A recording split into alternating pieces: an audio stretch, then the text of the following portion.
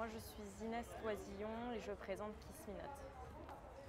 Alors bonjour Inès. Euh, déjà la première question que je voulais te poser c'est d'où vient le titre en fait? Si c'est un truc que tu avais choisi dès le début, si c'est délibéré, délibéré d'avoir... euh, Enfin, quelle est l'histoire de ce titre en fait?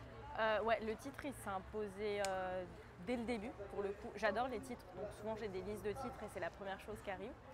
Euh, et je pense qu'il était euh, euh, lié. je voulais enfin, il, s'est imposé donc il n'y avait pas de raison théorique, mais après je pense que ce qui me plaisait c'était le côté un peu mot de passe. Et le, rythme, je voulais un titre qui ait un rythme qui fasse tchac tchac tchac, un peu comme le, patin qui glisse et, et que ça puisse être le mot. Enfin, moi, dans ma tête, j'imaginais que c'était un peu un mot de passe entre un frère et une sœur, mais ça, je pense que je suis la seule à, à imaginer ça. Et voilà.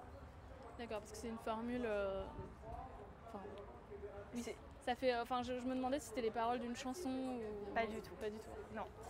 Et Est-ce que tu peux... euh, Donc c'est un film produit par le grec, du coup j'imagine que c'est un premier film ou... C'est ouais, Ouais c'est un premier film produit. Après, j'avais déjà réalisé trois petits films autoproduits avant, mais, euh, mais c'est mon premier produit et du coup, ça, c'est vrai que c'est, euh, enfin, ça engendre autre chose et, et je le considère comme mon premier film.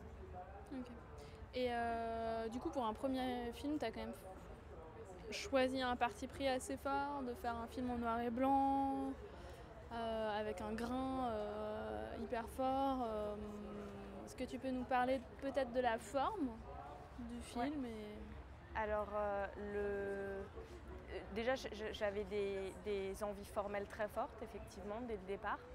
Alors que la narration, par exemple, est très simple. Enfin, j'ai un fil narratif plutôt très mince, mais je- ce qui m'excitait, c'était plus des envies formelles, esthétiques. Et le noir et blanc, il est venu euh, très- euh, pareil, euh, très vite. Enfin, il était un peu évident, je pense, par contraste avec la glace. Enfin, très vite, j'avais envie de, de filmer à la fois la matière adolescente et la matière de la glace qui, qui me fascinait, où il y avait un, un truc au niveau de la une matière à la fois très, très, très scintillante et à la fois très dure, assez violente. Et, et du coup, j'avais envie du noir et blanc pour la glace et pour l'adolescence, pour euh, un film sans contraste en fait. Je tenais euh, à ce qu'il n'y ait pas de nuance et un côté euh, tout terriblement comme on vit les émotions à l'adolescence. Et après, il y a aussi, j'imagine, dans la forme des partis pris assez radicaux, le 4 tiers.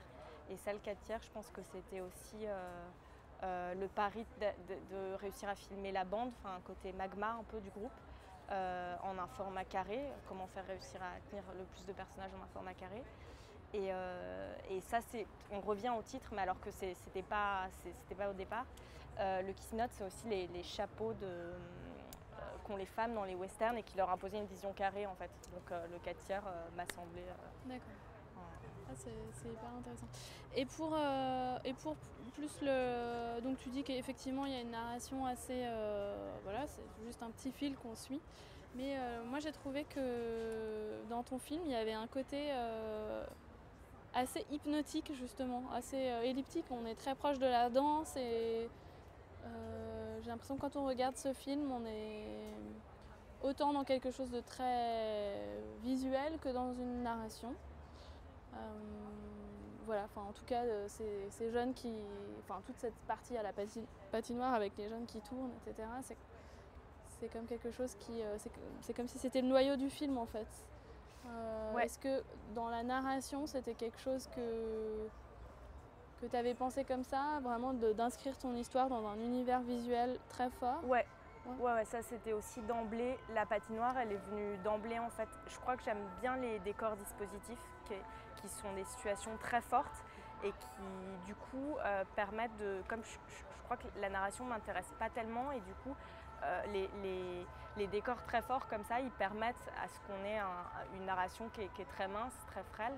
Et euh, mon prochain aussi, je pense que c'est aussi une, pareil, un dispositif de décor qui, qui crée tout. Et après, la, ouais, la patinoire, il y avait aussi, je pense, quelque chose, euh, enfin, je ne sais pas si ça rejoint la question, euh, mais quelque chose, de, euh, un peu un défi de tourner, j'avais envie de tourner un film de montagne, mais en restant à Paris. Et comme un film de sport d'hiver, mais sans ski dans une économie très modeste. Et du coup, je me suis dit, bah, la patinoire, c'est un peu le lieu pour. Ah, Et il y avait un côté un peu absurde aussi de ce lieu de patinoire qui est, qui est toujours un truc un peu bizarre. Et euh, peut-être une dernière question à propos de, bah, de là, du film qui va être montré ce soir. Donc il n'a pas encore été montré, mais qu'est-ce que ça te fait de euh, voilà d'avoir cette patinoire euh, qui va bientôt occuper tout l'écran non, je suis plutôt La silhouette en gros. Enfin, je Ouais. sais pas si le film a déjà été sélectionné. s'il Ouais, a- il a été, je l'ai présenté au début de l'été à Villa do Condé au Portugal. Donc c'est la première fois que je le présente à- en France, à Paris, et il va être présenté à Sofia bientôt. Euh, bah non, ça me fait super plaisir. Ouais. Enfin, je, suis, je suis très contente. T'as toute ton équipe qui est là ou t'as des gens qui sont là Pas tous, mais il y a certains acteurs et certains de l'équipe qui sont là. ouais.